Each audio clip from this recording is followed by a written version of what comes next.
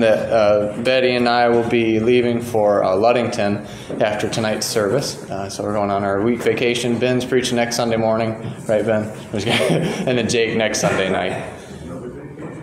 Yep.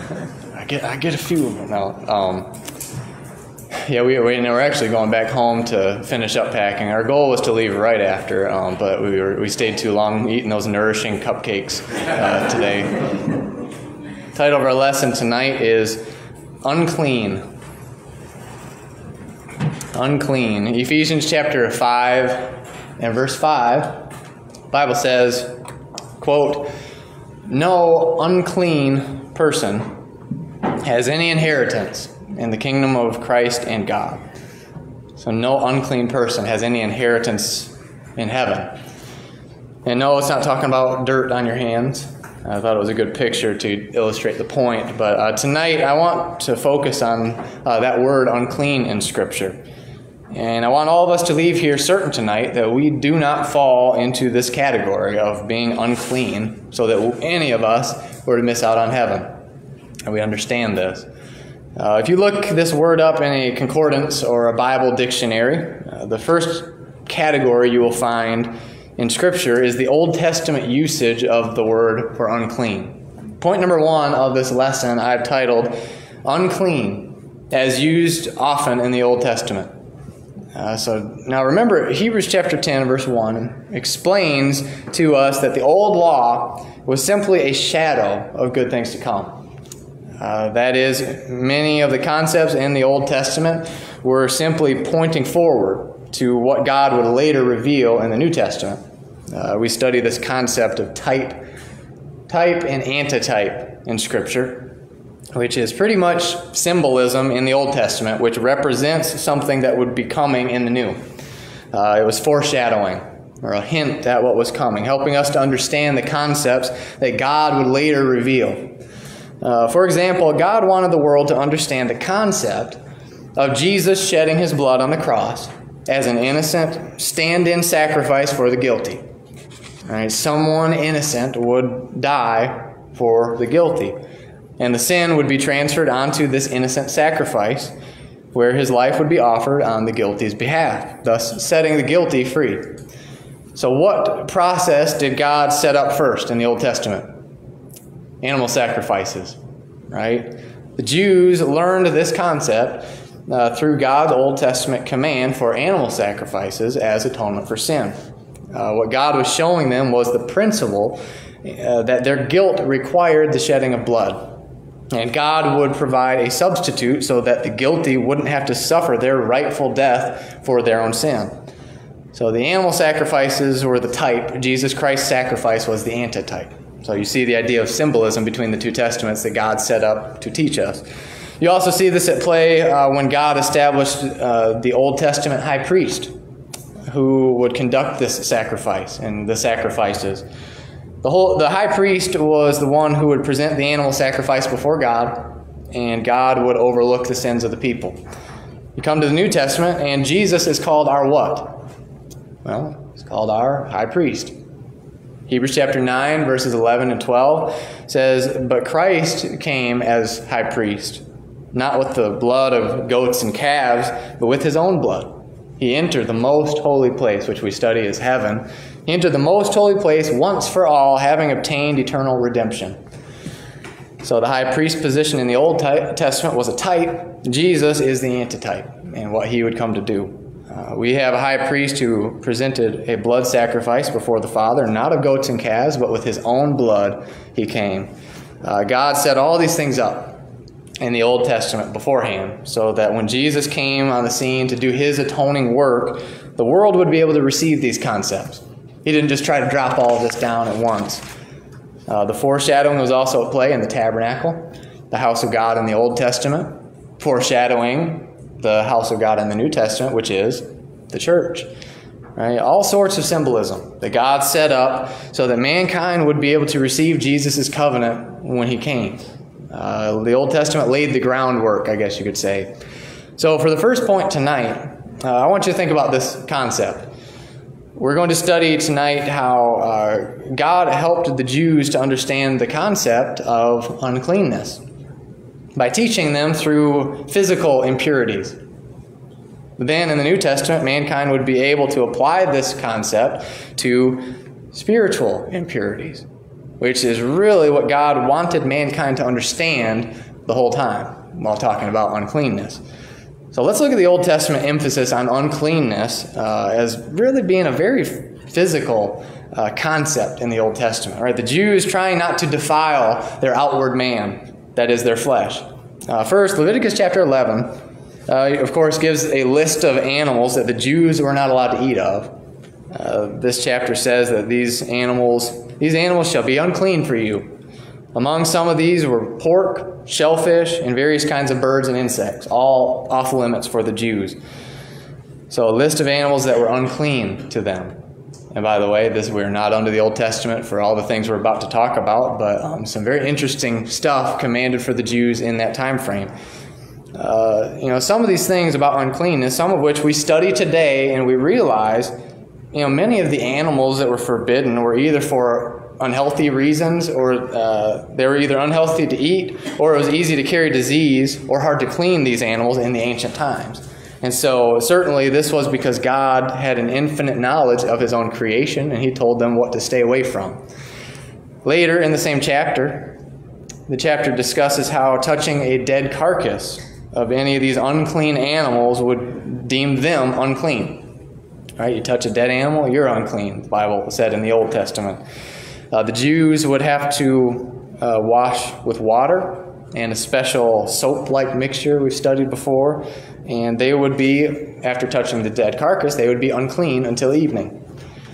And again, how interesting that uh, even before the world knew about germs and diseases from dead animals and carcasses, here we see a nation of people who knew it to be unclean to touch a dead carcass, washing themselves and then denoting themselves as unclean for the rest of the day for others to stay away from them. Right? Don't touch that which is unclean. The scientific world didn't know about dead animals carrying uh, germs and diseases back then, but God knew what He was commanding. Leviticus chapter 13 talks about uh, how someone found with leprosy was unclean and needed to be isolated from the rest of the people.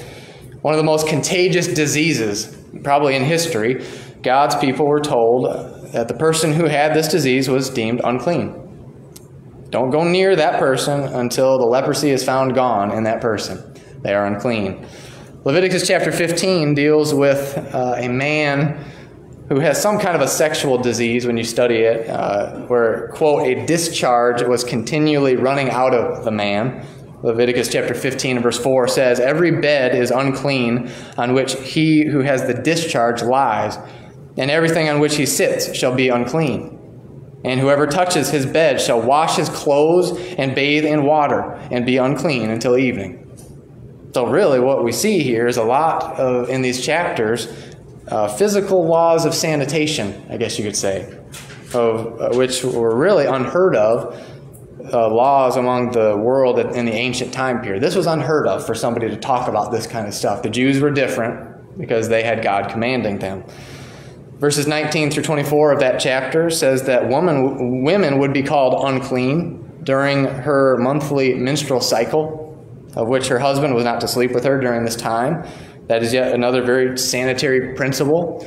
Uh, verses 16 through 18 talks about how if a man has an emission of semen, then he shall be, quote, unclean, and wash all his body in water, and he will be unclean until evening.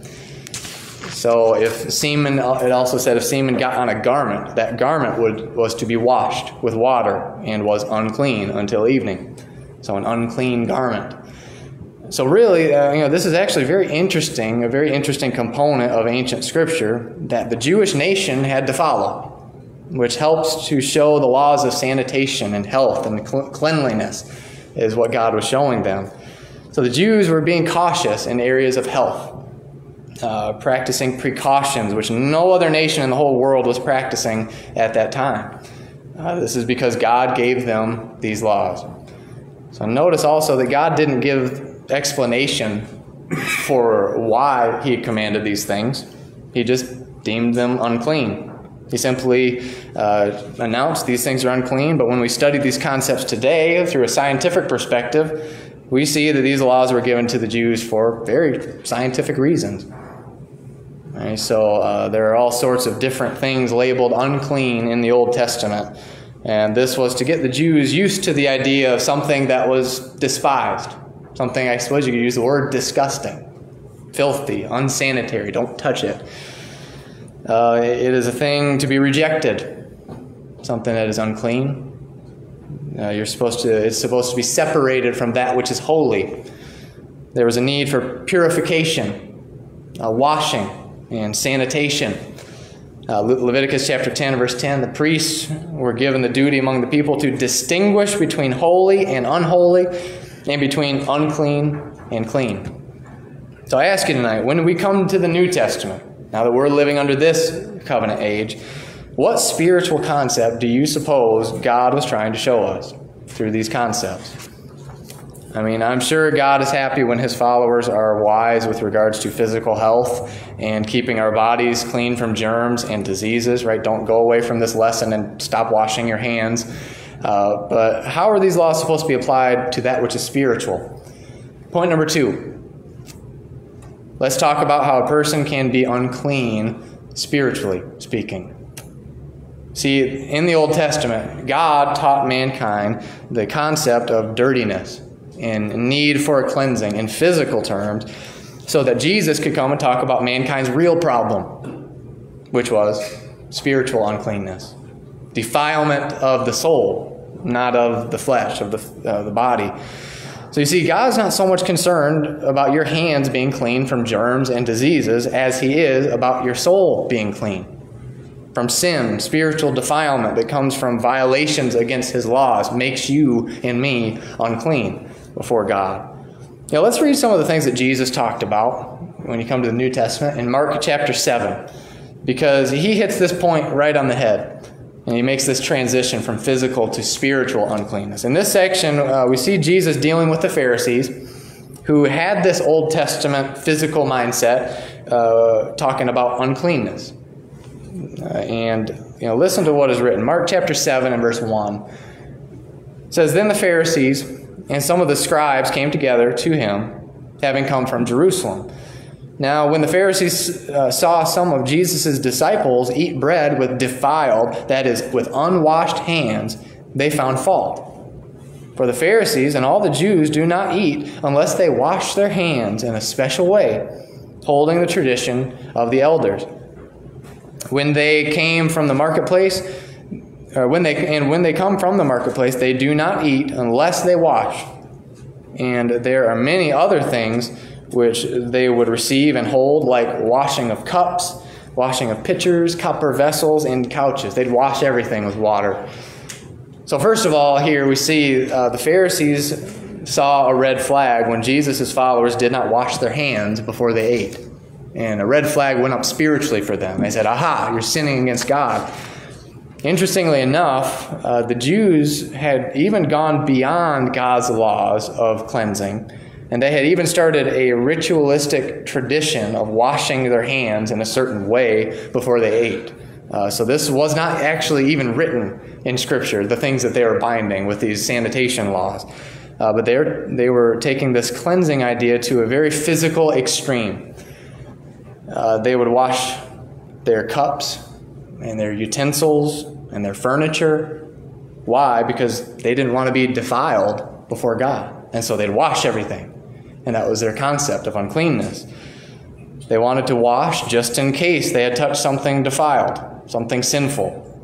And uh, as they went about their daily life, and they thought that if they touched something unclean, even accidentally, uh, that if they ate with hands that had been defiled and then they ate or sat on a couch that was defiled or drank from a cup that was defiled, that they would be ingesting something into their body that God would view, that would cause God to view them as being unclean. So that was kind of their concept. But Jesus explains to this group of Pharisees down to verse 14, and he says this He says, Hear me, everyone, and understand. There's nothing that enters a man from outside which can defile him now, stop here just for a second. Jesus is saying sin is not found on cups and hands.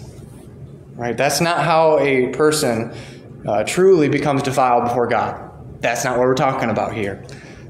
That was the impression that they had, but Jesus is explaining no, you're missing the idea that God is not trying to show man, uh, you're missing the idea that God is trying to show man about true defilement.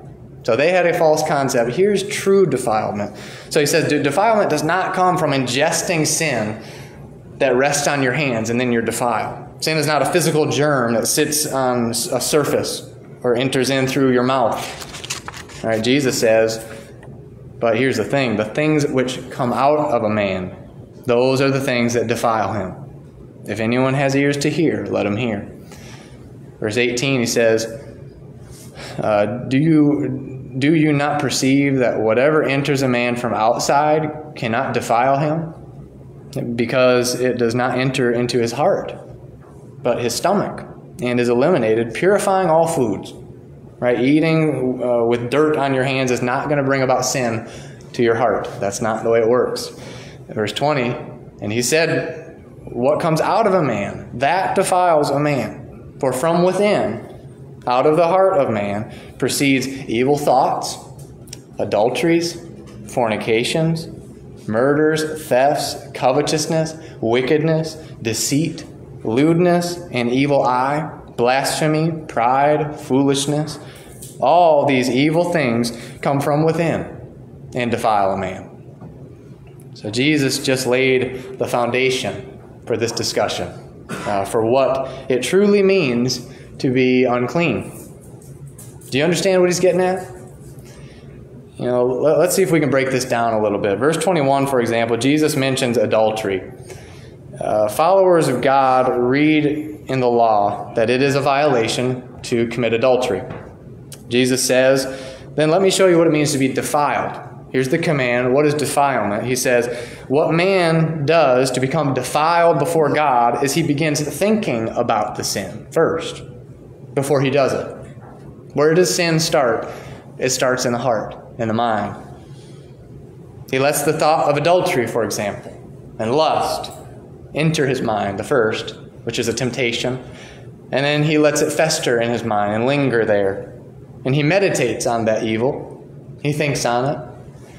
He daydreams about it. And what Jesus points out is this evil in your heart is unclean before God. Jesus said, of course, uh, about the topic of adultery in Matthew chapter 5 and verse 28, you know, you don't have to commit the actual act of adultery to be defiled. Right? You just have to let it linger in your heart. Whoever looks at a woman to lust for her has already committed adultery in his heart. He's defiled because of his thoughts. Because you see, if it weren't first for your heart, it would never spill over into your actions. Jesus came to deal with the heart, the uncleanness of man's heart. So that's where all sin starts. It's within you and within me. So Jesus said, You would never commit these actual acts of murder and lewdness, theft, fornication, if it didn't start in your heart first. So man is unclean when he has a heart lingering on sin. I think that's a big part of the definition of New Testament uncleanness. You see uncleanness listed on a bunch of the sin list. It's just you're, you're defiled with many things. You, you, you, you let sin uh, take over you, and you are unclean. And it's all about your heart. So if you think about sin, uh, mankind likes to lust. Mankind likes to get drunk. Mankind likes to gossip. Mankind likes to curse and swear.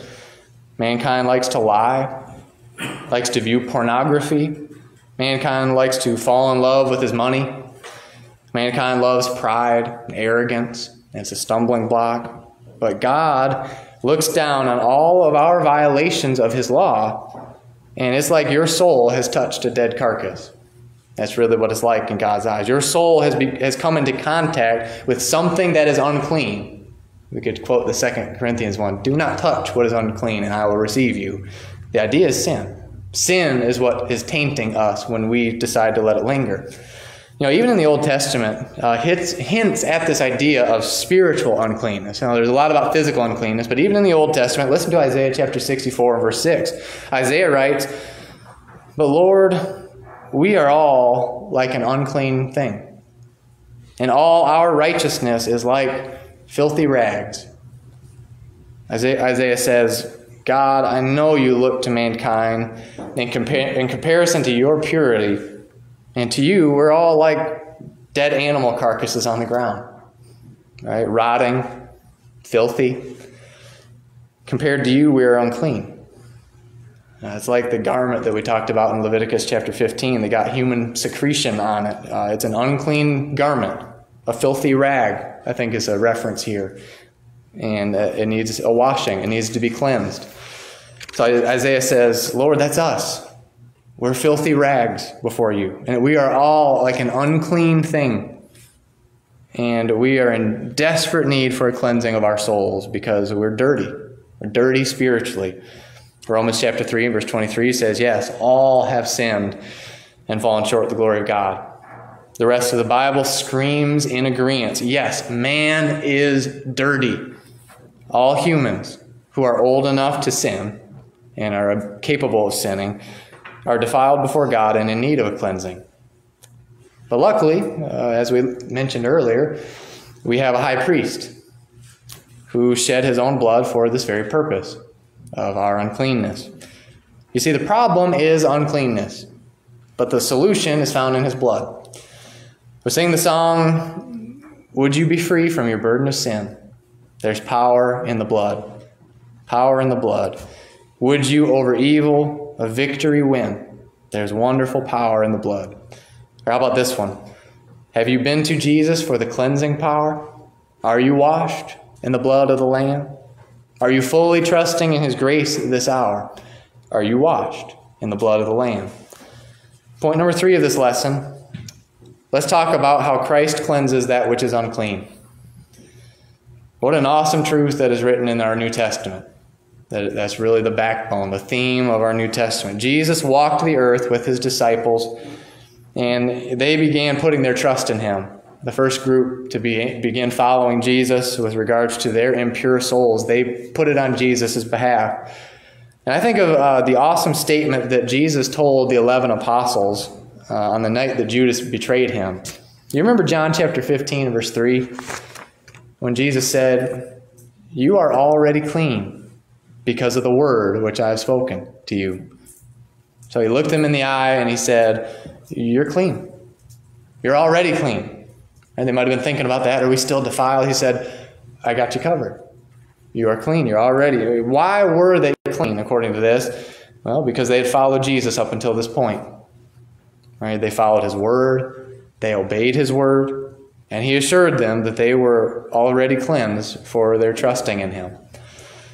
Uh, you know, wouldn't it be so nice for Christ to look us in our eyes today in the 21st century. I think sometimes we just would like that verification for him to just look at us and say, Christians, stop worrying.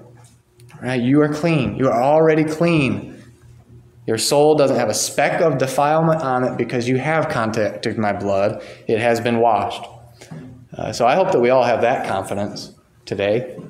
Uh, but perhaps you're listening tonight, maybe even online afterwards, and you say, well, you know, I've never actually heard what a person must do to be cleansed from his sins.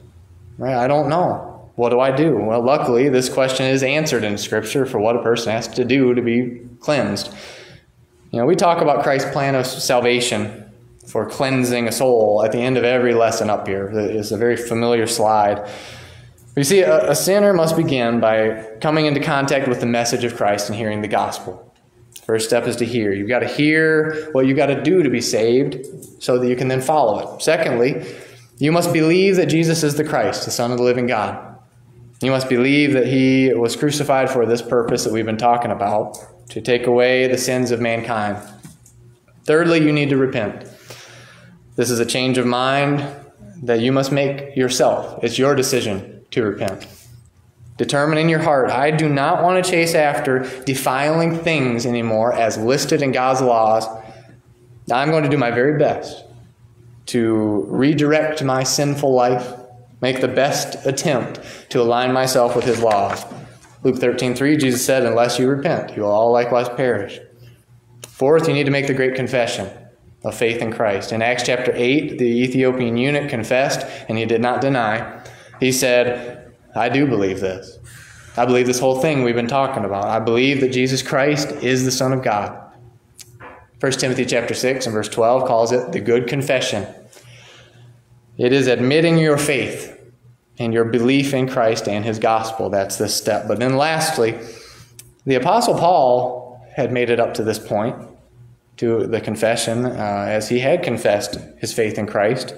He was sorrowful over his previous sin. I think there was a repentance there. He fully believed at this point, and yet Ananias indicated his sins had still not been washed away up through point number four. Ananias found Paul on the ground where he had been praying.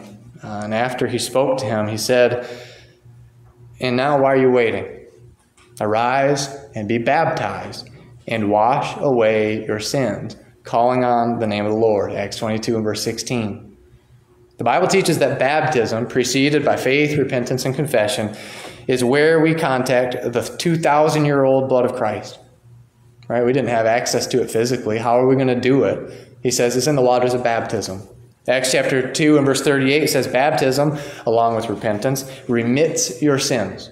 That is the removal of your sins. Baptism for the remission of sins. 1 Peter chapter 3 and verse 21 says, This act saves you. 1 Peter 3.21. Now, I, would like to, I'd like to give you a very good visual representation of this process tonight when it comes to a man's soul. Uh, so you might have been wondering what's up here on the table uh, to, to my left. Well, uh, the clear medium-sized cup up here in the front is the representation of your soul. Okay, that little cup right there in front. You, uh, you know, so at the moment, uh, it is filled with clean water, as you look. But I'm going to show you what happens when you dirty it up. This cup full of clean water can really represent a little baby who's born into this world. Right? Pure and innocent, having no sin. At some point, all of our cups were clean, just like up here. And it was clean because of our innocence. Right? No defilement, no sin. We had done nothing wrong not even the mental capability to comprehend being sinful. But one day, you know, probably in your teen years, maybe your early 20s, you started to be able to fully comprehend the difference between what is right and what is wrong. And you weren't innocent anymore. That's when you decided. It was your choice, and it was my choice, upon the age of accountability, some have called it, uh, to make yourself unclean. You defiled yourself. You knew it was wrong to tell a lie, but you told several lies. You knew it was wrong to lust after the opposite sex, but you lusted. Some were defiled through sexual activity before marriage, others through drunkenness, others through sins of the heart like pride, filthy language that came out of their mouth, and swearing and cursing. But one way or another, and the list of sins is long, the Bible says we each separated ourselves from God and became defiled because of our sin. Uh, I wanted a, a, liquid to represent evil, uh, so I chose Dr. Pepper. Trying to make sure it doesn't. Some people drink this stuff too, I don't know why.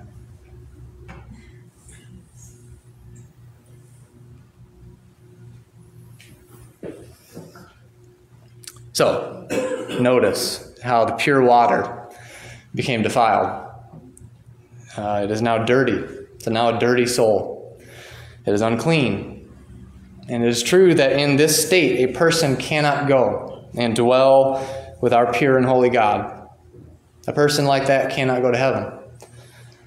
And that was us. That was all of us. Uh, this is a visual representation of a person who is in great trouble spiritually. If you die in that state, you have no home in heaven with God, but you will not make it. I will not make it. Ephesians chapter 5, verse 5 uh, puts the main, or puts the problem plainly, which we read at the beginning of the lesson. Remember, no unclean person has any inheritance in the kingdom of Christ and God. So that's a bad state to be in, isn't it? Because uh, the other location is hell. But you know, if we look on our timelines, then for most of us, you heard the gospel. You heard the plan that we just talked about and we put up on your screen. You decided to obey it. And you decided to fill your life uh, with Jesus Christ, to live with Him, and to live like Him. So the big, big uh, pitcher of water right here represents Jesus Christ. Now, let me give you a visual of what happens to this dirty water when you uh, fill up on Christ, so to speak, and when you decide to obey the gospel. I'll try not to get anything on the table.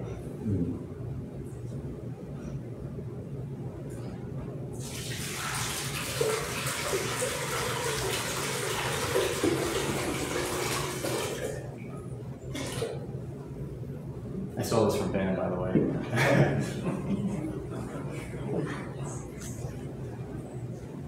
First Peter chapter 1 verse 22 says to Christians, "You have purified your souls in obeying the truth." 1 Corinthians chapter 6 verses 9 through 11, the Bible says, "Do you not know that unrighteousness will not inherit the kingdom of God? Do not be deceived. Neither fornicators, nor idolaters, nor adulterers, nor homosexuals, nor sodomites, nor thieves, nor covetous, nor drunkards, nor revilers, nor extortioners will inherit the kingdom of God. And such were some of you. But you were washed, you were sanctified, you were justified in the name of Jesus Christ by the Spirit of our God. Ephesians chapter 5, verse 26 says that Christ was happy to perform this service for his church, that he may sanctify and cleanse her with the washing of water by the word, that he might present her to himself a glorious church, not having spot or wrinkle or any such thing, but that she should be holy and without blemish, which means pure. Revelation 22 and verse 14 says, Blessed are those who do his commandments, that they may have the right to the tree of life and may enter through the gates into the city. But outside are dogs and sorcerers and sexually immoral and murderers and idolaters and whoever loves and practices a lie. Someone says, but what about someone who has been cleansed by the blood of Jesus Christ, but then allows themselves to follow after sin again?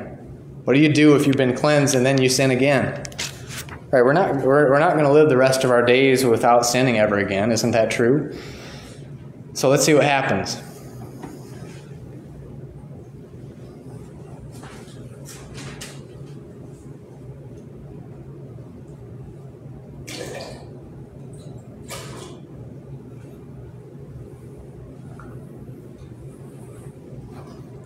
The Bible teaches that after you became a Christian, there is a need for more cleansing. Sometimes, uh, you know, we will study the book of First John, and we'll call we'll call it the need for continual cleansing. You need the blood of Christ just as much as you did the day you got baptized. Let's read First John chapter one, verses five through nine. It says, "This is the message which we have heard from Him, and we declare it to you: that God is light, and in Him there is no darkness at all. If we say that we have fellowship with Him, but we walk in darkness, we lie and do not practice the truth. But if we walk in the light, as He is in the light, you see, we have fellowship with one another, and the blood of Jesus Christ, His Son, cleanses us from all sin. If we say we have no sin, and this is written to Christians, if we say we have no sin, we deceive ourselves, and the truth is not in us. But don't miss verse 9. If we confess our sins. That's the word admit. If we'll admit our sins, He then is faithful and just to forgive us our sins and to cleanse us from all unrighteousness.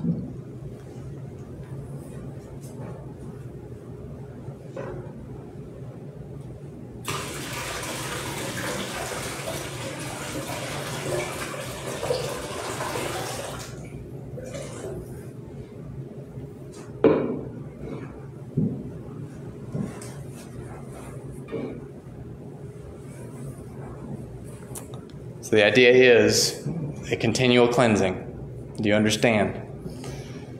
A Christian who falls into sin again does not need to go through the process of baptism all over again. Scripture tells us to admit our wrong, repent again, have a change of mind, and pray on our behalf. That we can go to God through the mediator, right to God. Admit, repent, and pray. And if we do this, as we make the honest attempt to do what is right, the blood of Jesus Christ, his Son, cleanses us for all of our slip ups. Continual cleansing. Just don't give up. You just keep contact with the blood of Christ. Now let's talk about point number four. A Christian's call is to remain clean. From the day that we receive our initial cleansing at baptism, having come up out of the water, our goal is to always remain clean.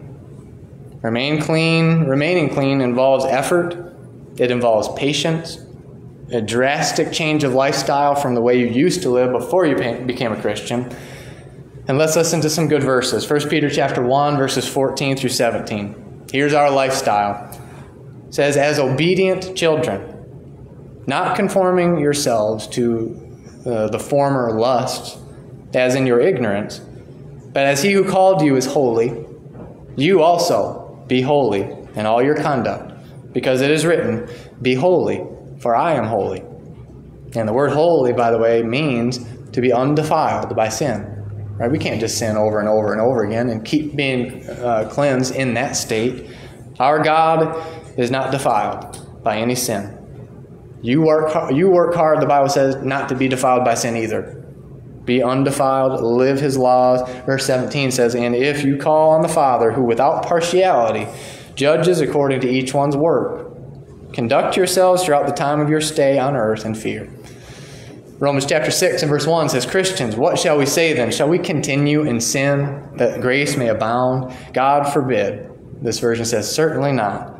How shall we who died to sin live any longer in it? Do we have a different lifestyle once we're a Christian?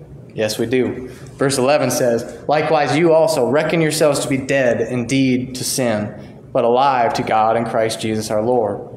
Therefore, do not let sin reign in your mortal body, that you should obey it in its lust. So, walking in the light that we're talking about here consists of staying away from sin, staying pure, making your very best attempt at being holy. When you fall short, you, as we talked about, admit your sin, repent, and pray. And keep at it. Don't give up.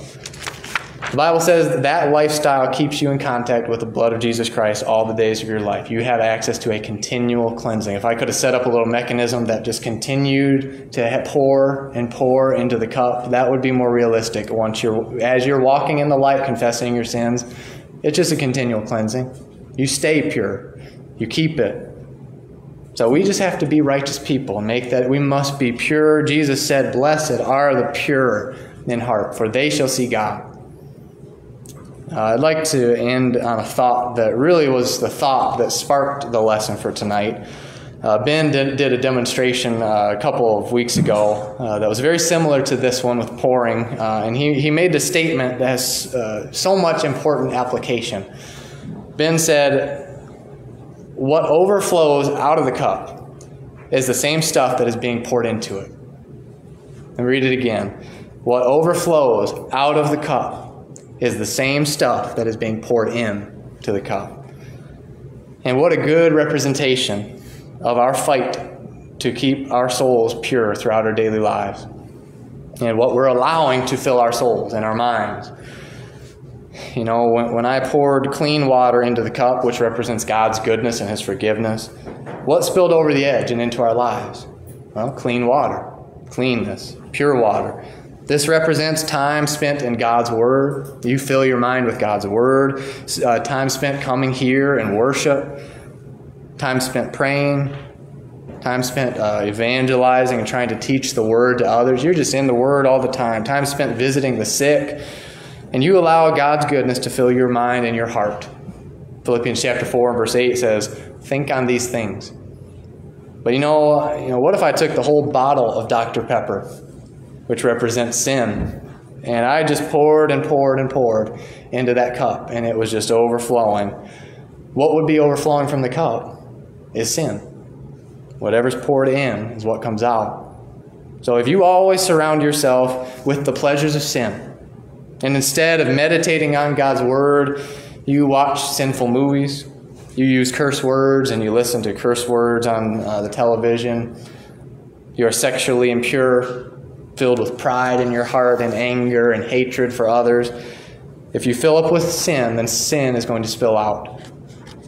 You know, whatever you allow to taint your mind and your heart will overflow into your life and it will affect others and it will be visible. And the Bible says you'll know them by their fruits. Luke chapter 6 and verse 45, Jesus said, A good man out of the good treasures of his heart brings forth good. And an evil man out of the evil treasure of his heart brings forth evil. For out of the abundance of the heart, the mouth speaks.